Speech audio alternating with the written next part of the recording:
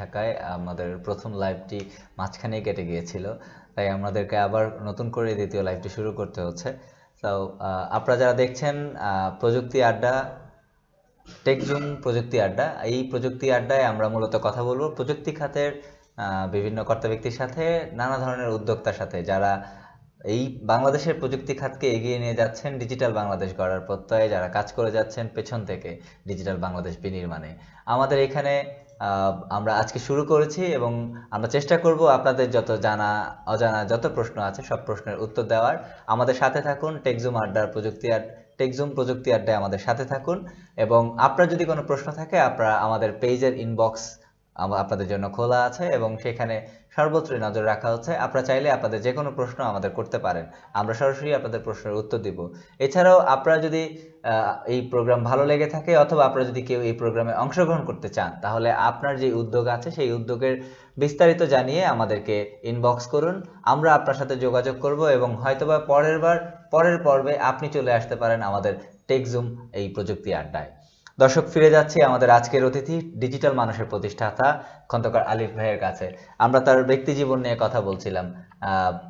আপনি তো এখন ডিজিটাল মানুষ নিয়ে যেহেতু কাজ করছেন আপনাদের যেহেতু মাঠে থেকেই কাজ করছেন একদম অনেক বাধা বিপত্তি সামনে আসছে। সেক্ষেত্রে আপনার কাছে কি মনে হচ্ছে কোন জায়গাটায় আপনাকে আপনাকে বেশি সাফার করতে হচ্ছে?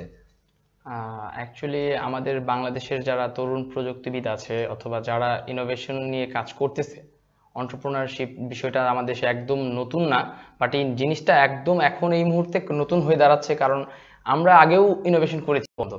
সো আমি এটা জানলাম এইভাবে, সে রাত বারোটা দশে ফোন দিয়েছে আমাদেরকে যে আপনাদের একটা বিজ্ঞাপন দেখলাম, যে আমার মোবাইলে আমি ফেসবুকে দেখতেছি। তো আমরা ফেসবুকে সোশ্যাল মার্কেটিং করার সময় হয়তো বিজ্ঞাপন দিয়েছিলাম, সে দেখে ওটা নক করেছিল।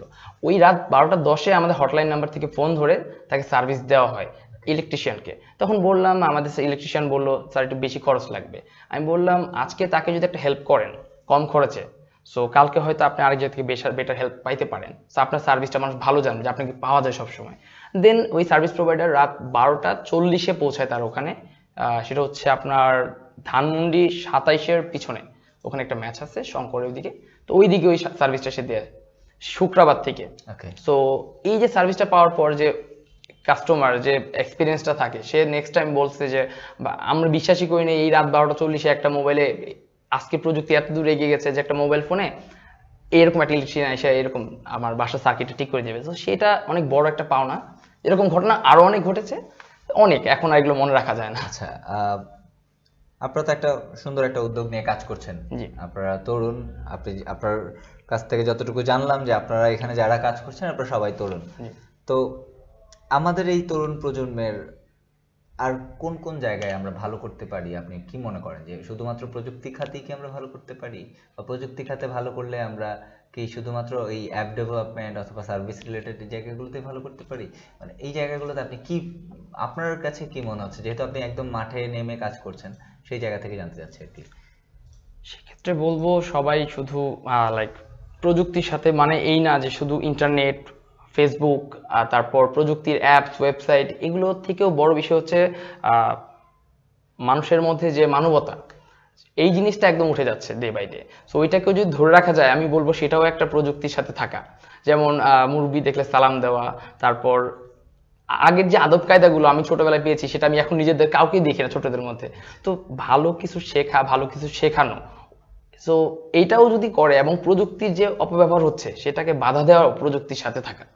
তো সেটা আমি বলব অ্যাকচুয়ালি হ্যাঁ, অনেক ভালো বলেছেন যে আসলে আসলে এই প্রযুক্তির যে অপব্যবহার বাড়ছে দিন দিন প্রযুক্তি আমাদের যত সুবিধা দিচ্ছে তত আমাদের অসুবিধার মুখে ঠেলে দিচ্ছে। এই যে আমরা যদি সাম্প্রতিক সময় কথা বলি যে সাম্প্রতিক সময় আমাদের তথ্য প্রযুক্তি খাতে সবচেয়ে আলোচিত একটি বিষয় হচ্ছে তথ্য চুরি। যে আহ, যেখানে অ্যাপের অ্যাপের মাধ্যমে যেসব গ্রাহকরা আহ, সেবা নিচ্ছেন সেখানে তো তাদের নিজস্ব তথ্যগুলো থাকছেই তাদের ব্যক্তিগত তথ্য। কারণ আপনারা যখন গ্রাহককে সেবা দিচ্ছেন তখন গ্রাহক অবশ্যই ভেরিফাইড করে। আমাদের সেই ধীর গতির ব্রডব্যান্ড ইন্টারনেট লাইন থেকে আজকের পুরো শহরে ওয়াইফাই ফ্রি ওয়াইফাই হটস্পট পাওয়া। বাংলাদেশের সবচেয়ে বড় যে পাওনাটা আমরা পেয়েছি সেটা হচ্ছে স্যাটেলাইট এটা সুবিধাটা আমরা এখনও পাইনি তবে ইনশাল্লাহ আমরা যা জানতেছি যে দুই হাজার উনিশের মধ্যে খুবই সম্প্রতি আহ, আহ, গত শুক্রবার এই স্যাটেলাইট থ্যালেস অ্যালেনিয়া আমাদের বাংলাদেশ সরকারের কাছে হস্তান্তর করেছে এবং যেহেতু প্রথমে এটার দায়িত্ব ছিল BTRC Bangladesh telecom regulatory authority commission তারা অলরেডি এটা আবার বাংলাদেশ স্যাটেলাইট কোম্পানিকে হস্তান্তর করে দিয়েছে। তো হয়তো খুব শীঘ্রই আমরা স্যাটেলাইটের সুবিধা পাওয়া শুরু করব। আহ, আমি আবার আপনার কাছে ফিরে যাব সেটা হচ্ছে যে আপনার ডিজিটাল মানুষ নিয়ে আপনি ভবিষ্যৎ কি করতে চাচ্ছেন? ভবিষ্যৎ পরিকল্পনাটা কি? বাংলাদেশে যারা গ্র্যাজুয়েশন করতেছে তার অর্ধেকেরও বেশি কাছাকাছি যেটা ah, Bangladesh bureau of statistics থেকে জানা যাচ্ছে পরিসংখ্যান বিভাগ থেকে যে বেকারত্ব সংখ্যাটা বাড়তেছে। গ্র্যাজুয়েশন তো সেরকম একটা ঘটনা আমরা আগেও দেখেছি মুভির মাধ্যমে। বাংলাদেশে প্রতিদিন অনেক সুইসাইড হচ্ছে। পড়াশোনার চাপ নিতে পারতেছে না, কারণ পড়াশোনা ভালো লাগতেছে না। পড়াশোনা ভালো লাগতে গেলে প্রথমেই ভালো কোনটা লাগে সেটার জন্য পড়তে হবে।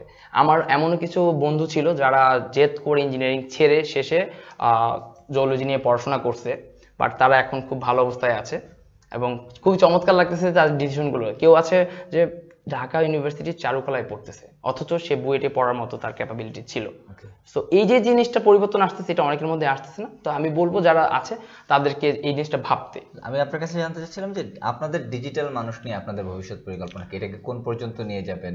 বা এইখানে আহ, কর্মসংস্থানের যোগানটা আপনারা আরও কীভাবে বাড়াবেন? এই ব্যক্তি আপনাদের বাংলাদেশের বাইরে যাবে কিনা? এরকম কোনো পরিকল্পনা? আচ্ছা এখন দুই হাজার আঠারো সাল প্রায় শেষের দিকে আমরা দুই হাজার পরিকল্পনা করেছিলাম এবং জিপি সিলেটের সহায়তায় এটা আরও বেশি ভালো পরিকল্পনা করা হয়েছে। দুই হাজার একুশে ডিজিটাল বাংলাদেশ হবে আমাদের সরকার সেটা ঘোষণা দিয়েছেন। সো ডিজিটাল মানুষ প্ল্যাটফর্মে যেহেতু আমি কাজ করতেছি সো ওই ডিজিটাল বাংলাদেশে ডিজিটাল মানুষকে নিয়ে যেতে হবে। সো এই এই পরিকল্পনা নিয়েই আমরা আগাচ্ছি যে মানুষগুলো এই প্রযুক্তির সাথে থাকবে, মানুষগুলো ডিজিটাল হবে। তো কীভাবে ডিজিটাল হওয়া যায়? এটা শুধু একটা সার্ভিস প্ল্যাটফর্ম না, যে একটা আসলে মানুষকেও ডিজিটাল হতে হবে। লাইক আমি আর কষ্ট করব না। এখন আগে মানুষ ডেকে ডেকে পোস্ট অফিসে পোস্ট করতো, এখন ফোন দিলেই হয়ে যায় এস দিলে হয়ে যায় ইমেল দিলে হয়ে যায়। সো ডিজিটাল বাংলাদেশে থাকতে গেলে আমাদের মানুষগুলোকে ডিজিটাল হতে হবে। তো আমি সবাইকে বলব ডিজিটাল প্ল্যাটফর্মটা ইউজ করতে।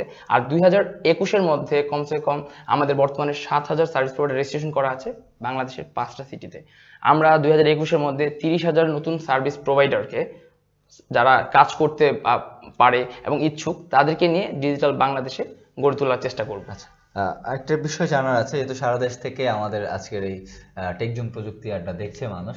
তো এইখানে হয়তো অনেকের কাছেই আপনাদের মেসেজটা পৌঁছে যাবে। আপনারা যে তাদেরকে প্ল্যাটফর্ম দিচ্ছেন এবং তাদের এলাকায় তাদের কাজ করার সুযোগ করে দিচ্ছেন। সো সেই জায়গা থেকে আমি জানতে চাইব যে কেউ যদি আপনাদের সাথে যুক্ত হতে চায় তাহলে তাকে কি কি করতে হবে? আহ, তাকে একটা আমাদের ডিজিটাল মানুষ ফেসবুক পেজ আছে। ডিজিটাল মানুষ গুগল গুগল প্লে স্টোরে অ্যাপ আছে। এবং ডিজিটাল মানুষ ডট কম এই সাইটে গিয়ে জাস্ট সার্ভিস প্রোভাইডার হতে চাই এরকম একটা অপশন দেওয়া আছে। সেখানে সে যদি ক্লিক করে, তার মোবাইল নাম্বারটা দেয়। আমাদের সার্ভিস প্রোভাইড আমরা যারা প্রতিনিধি আছি, তার সাথে যোগাযোগ করে আমাদের প্ল্যাটফর্মে যদি কাজ করার মতো তার যোগ্যতা থাকে, তাহলে আমরা তাকে বা যাচাই বাছাই করে আমাদের প্ল্যাটফর্মে নিব। এবং এই ক্ষেত্রে আমরা কোনো টাকা নিচ্ছি না, কোনো সার্ভিস প্রোভাইডারের কাছ থেকেই। কারণ আমরা চাই ভালো সার্ভিস দিক। কারণ এই প্ল্যাটফর্মটা এখন টাকা নেওয়ার সময় না। যদিও একটা ব্যবসা দাঁড়া করে, তো অনেক টাকার প্রয়োজন, অনেক উপার পুঁজির প্রয়োজন। সো সেই ক্ষেত্রে আমরা অলরেডি বাংলাদেশ ভেঞ্চার ক্যাপিটাল থেকে সেই ধরনের পুঁজি এবং গভর্নমেন্টের আইসিটি যে ফান্ড আছে, সেটা আমরা পেয়েছি। তো সেই ফান্ডগুলো দিয়ে আমরা চাচ্ছি যে তাদেরকে সহায়তা করে, তাদেরকে জীবিকা উপার্জনের যে জায়গাটা, এটাকে আরও বড় করে তুলতে। কারণ অনেক সময় তাদের দোকানটা বন্ধ থাকতেছে। আমরা নিজেরা দেখতেছি, শীতকালে কাজ পাচ্ছে না, তারপর নানান রকম সমস্যা। কিন্তু তাদেরকে যেন দোকান না নিয়েও ভবিষ্যতে যে ডিজিটাল বাংলাদেশ হচ্ছে, সেখানে একটা অ্যাপসের মাধ্যমে তার যে কাজের কর্মদক্ষতা, সে জাস্ট আমাদেরকে তুলে দিচ্ছে, আমরা যেটা দিচ্ছি, অল্প খরচে সে বেশি উপার্জন করতে পারছে। এবং এই সব স্কিলকে আমরা মনিটরিং করে, যেটাকে বলে বিগ ডেটা আমরা তৈরি করতেছি, সেই বিগ ডেটা থেকে আমাদের দেশ থেকে যে বাইরের দেশে যে শ্রমজীবীগুলো যাচ্ছে আনস্কিল সো আমরা তখন বলব দুই হাজার একুশে আমরা স্কিল সার্ভিস প্রোভাইডার দেশের বাইরে পাঠাবো দুবাইয়ে আরবে এবং আমেরিকাতে ইনশাল্লাহ অনেক সুন্দর উদ্যোগ। সেখানে নক করে। আমি অবশ্যই তাদেরকে সহায়তা দিই এবং তাদের মেন্টরিং দেওয়ার চেষ্টা করতেছি যে কীভাবে তোমরা তোমাদের উদ্যোগগুলোকে স্বপ্নগুলোকে বাংলাদেশকে থেকে বাস্তবায়ন করবা এবং খুব সহজেই। স্টুডেন্ট বয়স থেকে সেটা করা যায়। যেমন আমি স্টুডেন্ট বয়স থেকে আমরা স্কুল ফ্রেন্ডরা ভার্সিটি শেষ হয়ে যাচ্ছে এটা করেছি। ধন্যবাদ। দর্শক, আমরা শুনছিলাম সিভিল ইঞ্জিনিয়ারিং এ পড়া একটা তরুণ, কীভাবে তথ্য প্রযুক্তি খাতের একজন উদ্যোক্তা হলেন। তিনি জানিয়েছেন, কীভাবে তিল তিল করে গড়ে তোলা স্বপ্ন আজ বাস্তবে দেশের উদীয়মান একটি উদ্যোগ। ডিজিটাল মানুষ, যেখানে মানুষ সেবা পাচ্ছে মানুষের মাধ্যমে। মানুষের দোরগোড়ায় পৌঁছে যাচ্ছে তার কাঙ্ক্ষিত সেবা। ডিজিটাল মানুষের মতো আপনারও হয়তো কোনো উদ্যোগ আছে। আপনার উদ্যোগ নিয়ে আমরা জানাতে চাই টেকজুম প্রযুক্তি আড্ডায়। আপনি আপনার উদ্যোগ জানান আমাদের টেকজুম ডট টিভিতে আমাদের ফেসবুক পেজে অথবা আমাদের ওয়েবসাইটে আমাদের ইমেলে যে কোনো জায়গায় আপনি আমাদেরকে জানাবেন আপনার উদ্যোগ সম্পর্কে, আমাদের এখান থেকে যোগাযোগ করা হবে আপনার সাথে। এবং পরবর্তী কোনো প্রোগ্রামে হয়তো দেখা হয়ে যাবে আপনার সাথে, আপনি সারা দেশকে জানাবেন আপনার উদ্যোগ সম্পর্কে। প্রতি সোমবার